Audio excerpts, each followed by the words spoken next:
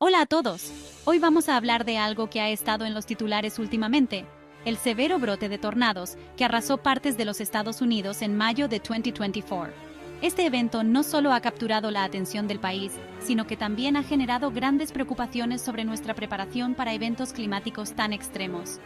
Hace solo dos semanas, un poderoso tornado EF3 devastó un almacén en Waverly, Nebraska, Imagínense ser uno de los 70 empleados dentro cuando el cielo se tornó de un gris oscuro amenazante y los vientos feroces comenzaron a aullar.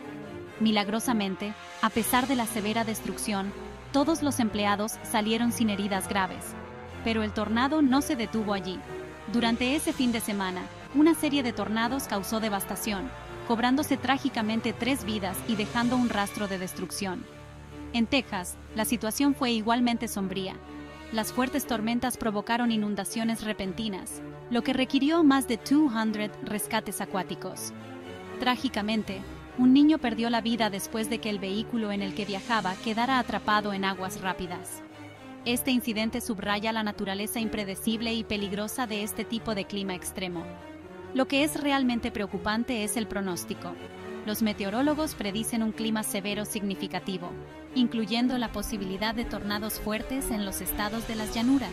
Esto incluye Oklahoma, Kansas y Nebraska. Entonces, ¿qué significa esto para nosotros? Bueno, es un claro recordatorio del poder de la naturaleza y la importancia de estar preparados.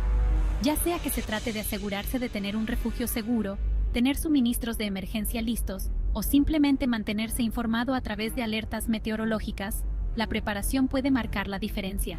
Recuerden, Comprender y respetar el poder de la naturaleza es clave para proteger a nuestras comunidades y seres queridos.